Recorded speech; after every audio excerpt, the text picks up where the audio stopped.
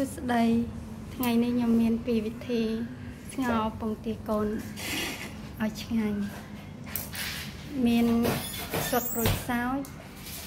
គល់លក្រៃស្លឹកក្រូចសើចយើងបកអាតំណងកដាចេញដើម្បីឲ្យវាឈ្ងុយ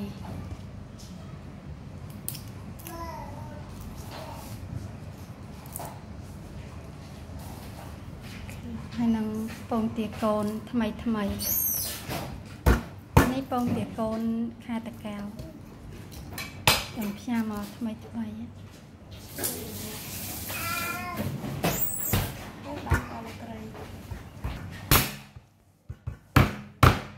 ដាំកលក្រៃឲ្យទុំ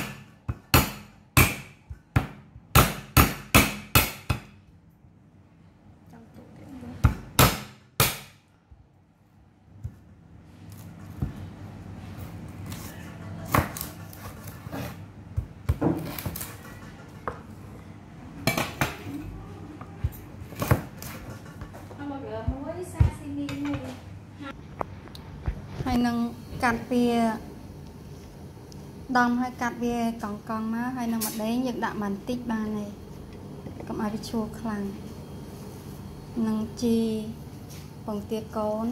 លាងទឹកឲ្យស្អាតហើយនឹងពងទាកូនស្រស់ស្រស់តមកយើងដាក់គល់ក្រៃ ចូលក្នុងទឹកស្ងោរទៅដេងស្លឹកក្រូចសើច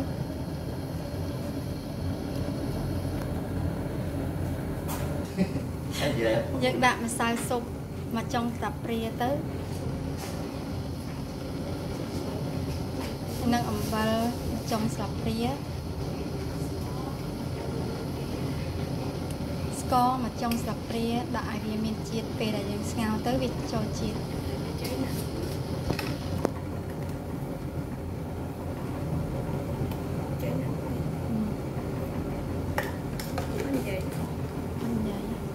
គេឃើញហើយតបមកយើងដាក់ពងទាចូល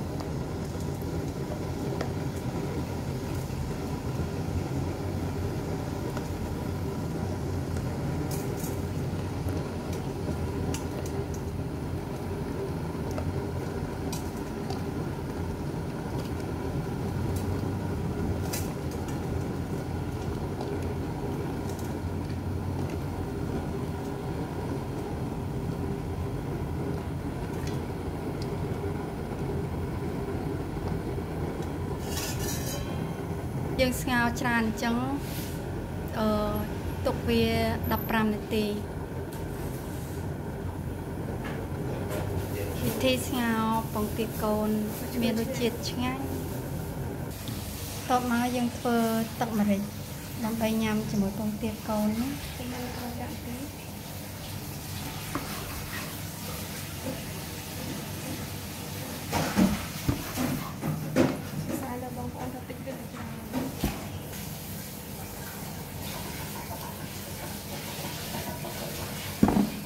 ម្រេចទៅឲ្យតាមការចូលចិត្តបើចូលចិត្តហឹរយើងដាក់ឲ្យច្រើនតិចទៅតែនេះពួកយើងចូលចិត្តហឹរតែខ្ញុំចូលចិត្តហឹរឈ្ងុយ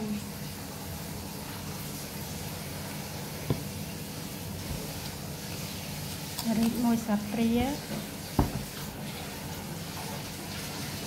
កកមកចំស្លាបព្រា អំបិលមកចុងស្លាបព្រា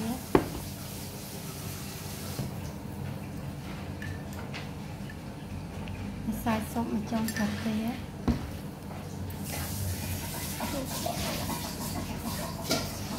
ចាប់មកច្របាច់ក្រូចដាក់មកមកដល់ទៅយករសជាតិជូរល្មម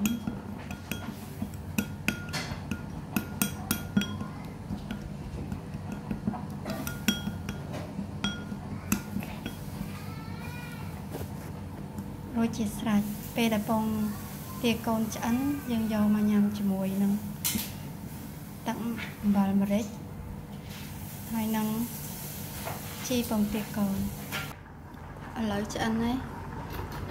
យើងស្រង់វាដាក់ចាន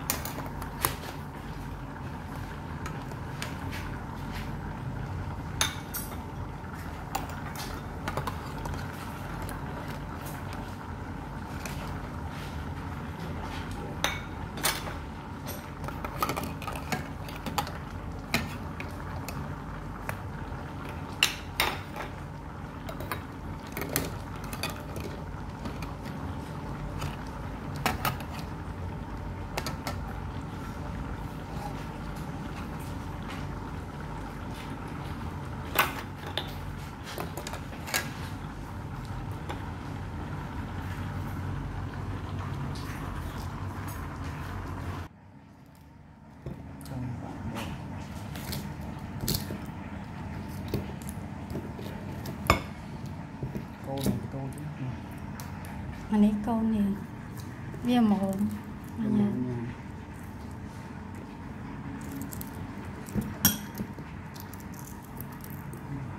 លំងងហូនតោឆ្ងាញ់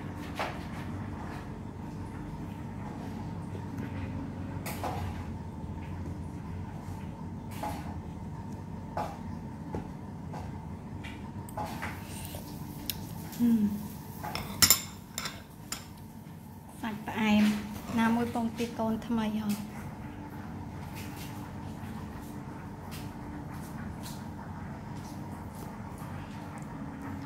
អរគុណច្រើន